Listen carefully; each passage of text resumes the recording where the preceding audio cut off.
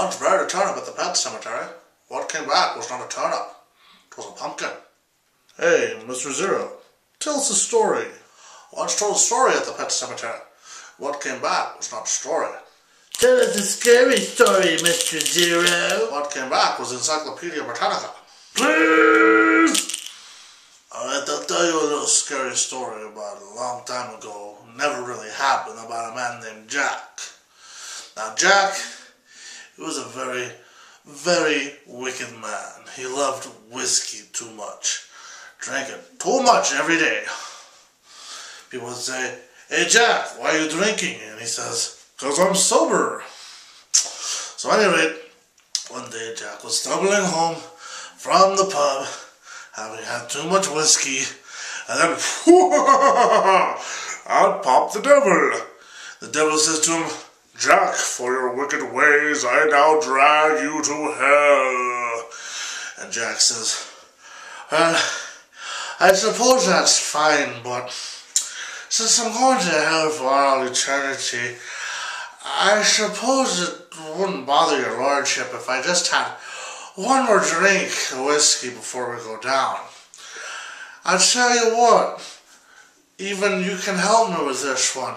If you could transform yourself into, into a coin so I might buy my last shot of whiskey, and then you could start some mischief that way. And of course the devil liked this idea because he liked causing mischief for other people. Eh?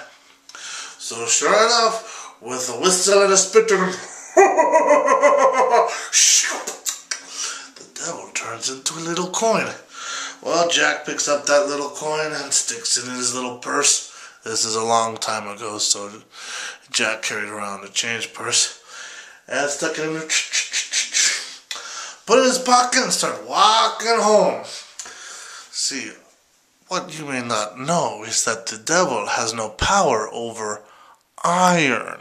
Suddenly the devil's like, Jack, let me out of this iron clasp purse. I can't get out. Oh, you can't, your lordship. You can't get out of me purse, huh? Well, I guess you won't be dragging me down to hell then, will ya? Oh, anything, Jack, just let me out of here. So Jack says, Well, your lordship, come back for me next year and see if I'm ready to go. You promise? And of course, the devil made the promise. So Jack lets him out, and the devil, fuming angry, goes back to hell. One year later, Jack is not any more sober, stumbling out of the pub. Right, a year later, right to the date, there appears the devil and says, Jack, it's your time now. I'm dragging you to hell for your wicked ways. And Jack says, Oh, it's my time, is it, your lordship? Well, I don't suppose I can have one last bit of food before I go down. As you know, it's it's fall and the harvest is coming in. And those are delicious apples. If I could have just but one of those last apples, just before it would just just make everything so much better when I go to be eternally punished. And of course, Satan says to him, Well, I suppose. So Jack goes stumbling this way, stumbling that way. And Satan said, Do you know where this tree is? Yes, your lordship, it's east. No, your lordship, I think it's north. The devil was so confounded by Jack's drunken behavior that he says, Never mind, I will pluck this apple for you. And so, with a whistle and a spit, Satan turns into a large snake and coils his way up the tree. Just as he was tenderly plucking the apple down from the tree, out pops Jack with his with his penknife and carves a cross right into the tree trunk. Now the devil is stuck. He can't cross over a holy symbol like that. Jack, what have you done? You've tricked me again! I cannot leave this tree now. I shall spend eternity as a snake, eating apples. I hate apples. Apples keep doctors away. And Jack says, Well, your lordship, I'm not too keen on going down to hell, so I'll let you down if you promise never to take me. Sure enough, I promise, says the devil. And there he goes, Jack. He X's out the cross. I guess he X out the cross. Or carves out the cross. I don't know. Maybe he chopped the tree down. But the devil gets out and says, Right, Jack, we have an agreement now. I will never see you in hell's gates. And with a whistle and a spit, the devil went back down to hell.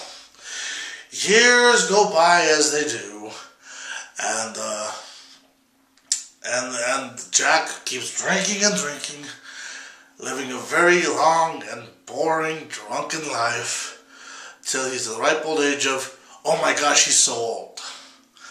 Then one day, while walking out of the pub, he falls down on his face.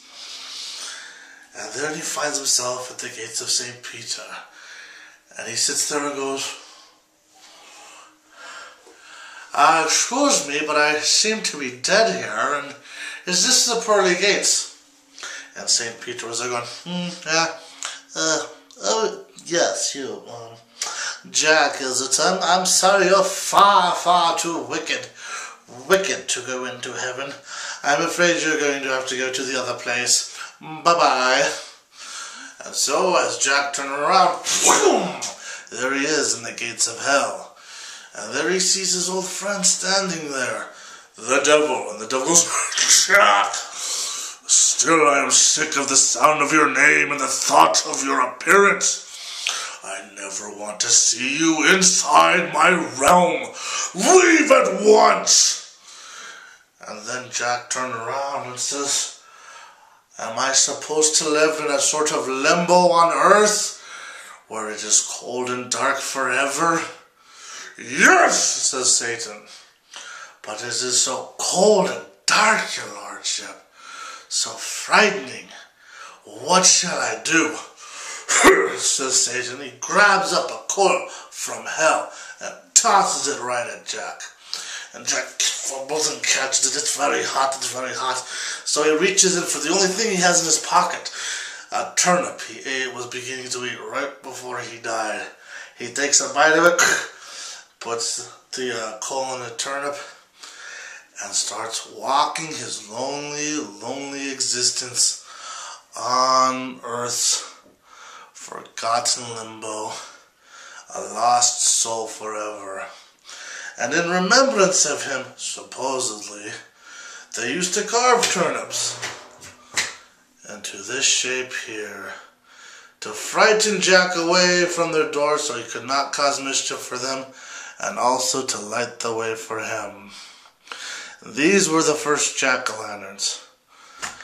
Um, this myth is really not true at all, and no one really believes it, but it's a fun story to tell at Halloween time. And, you know, it's fun to make a traditional jack-o'-lantern out of a turnip.